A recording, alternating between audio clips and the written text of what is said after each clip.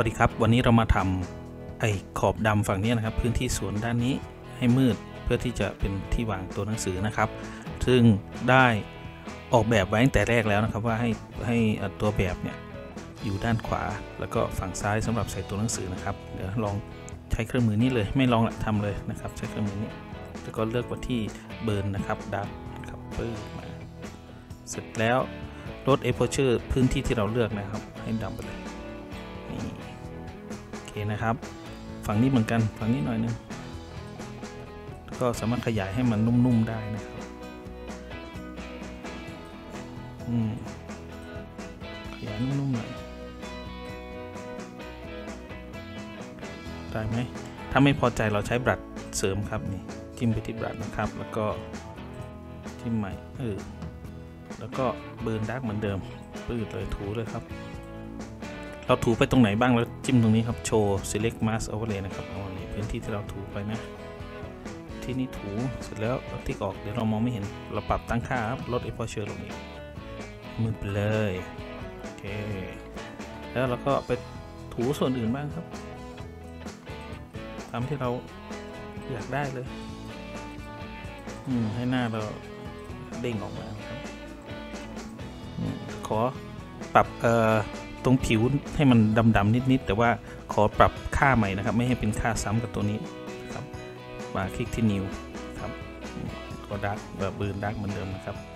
นิวอีกครั้งก็แล้วกันกลัวพลาดครับแล้วก็มาถม แสงมาจากด้านนี้พอถมตรงส่วนที่เป็นเงาให้มันลงหน่อย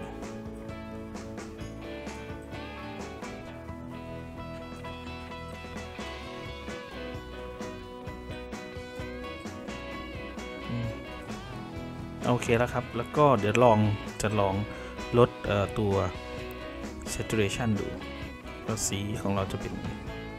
จะดูหมุนๆลงนะลดแซตนะครับเราเพิ่ม vibrant ขึ้น เพื่อชดเชยสีส้มที่หายไปนะครับ ชดเชยไปนิดนึงอืมโอเคนะครับ คราวนี้ย้อมสีเงานิดหน่อย เพื่อให้ดูดูแบบแปลกตาลงไปนะครับ เพื่อปรับอารมณ์ให้มันเย็นๆนะ เปลี่ยนย้อมสีเงาเป็นสีออกออกบลูหน่อยเนี่ยสังเกตนะครับถ้าเราไปเปลี่ยนสีเงานะครับ อารมณ์ภาพก็จะเปลี่ยนนะครับเนี่ยสีเงาเป็นสีเขียว สีเงาเป็นสีแดงนะครับสีส้มๆก็จะออกโทนเอิร์ดๆอย่างสีเขียวๆก็จะจะออกโทนสดชื่นสดชื่น เป็นเงาสีเขียวนะ เดี๋ยวผมขอเป็นสีออกบลูๆหน่อยบลูๆแล้วก็ไม่ต้องบลูมากนะครับโอเคละแค่นี้โอเคละเดี๋ยวขอเพิ่มเกรนหน่อยแล้วกันเอฟเฟกต์ ก็เพิ่ม grain ให้ภาพดูหยาบๆ ดูกระด้างไปเลย อืมภาพดูกระด้างไปเลยนะครับ เพิ่มไซส์หน่อย